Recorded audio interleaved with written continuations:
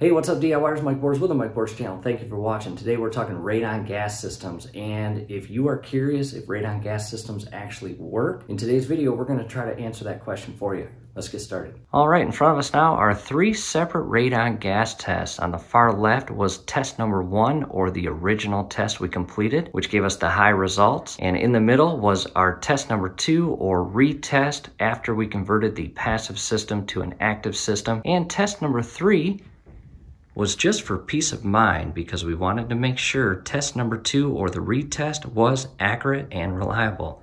Let's direct our attention to test number one again, first alert. I'll show you the box. You can purchase this at your local Lowe's or Home Depot, maybe Menards. It's a very friendly DIY test kit.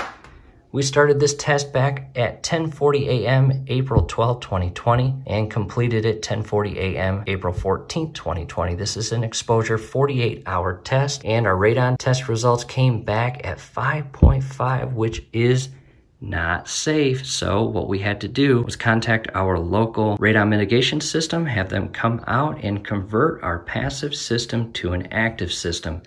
They did that pretty quickly within a couple weeks. And here is test number two or the retest. And this test was provided by the company that installed our system or converted it from passive to active. This is an AirChek branded kit, and the company that converted our system is called SWAT, S-W-A-T. We completed this test on May 11, 2020 at 10 a.m and it ended May 14, 2020, 10 a.m. and was completed on the exact same floor and location of test number one.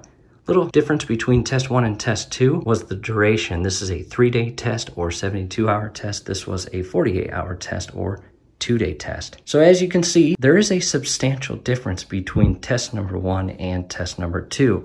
Let's go back to test number one. This was before the conversion. All we had was a passive install. And what that basically means is the plumbing is installed. However, you have no pressure gauge, nor do you have a fan built into your system sucking that radon gas out of the ground and exhausting it out the pipe that goes all the way up and out of your roof. So really, a passive system is basically a stationary idle system that has already been installed for plumbing purposes to make it convenient to convert it to an active. You just have to pay the fees that the company charges you to convert it. However, back to the actual result.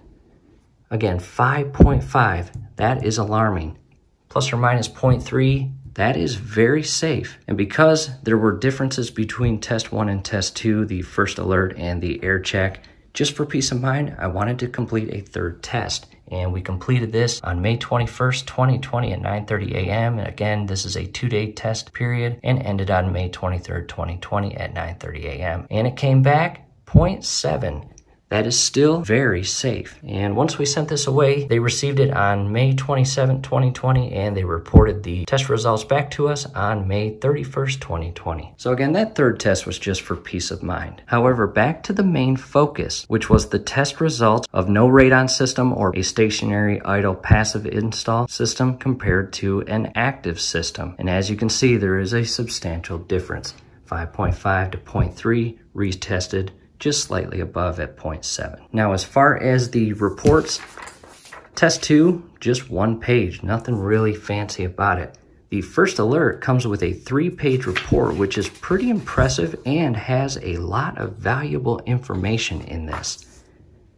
That is a three-page document or report as well. Now, we have a separate video that we go through and explain and share all of that report in a detailed and well explained order. And in the event that you are curious on that, that video is scrolling above. Definitely check that out. You may find it very helpful. So that's it, YouTubers. Hopefully this helps. Do us a favor below the video. You'll see that thumbs up icon. Click on that, like the video, subscribe to the channel. Definitely ring your YouTube bell. That would be very helpful to us. We would really appreciate it. Thanks again for watching.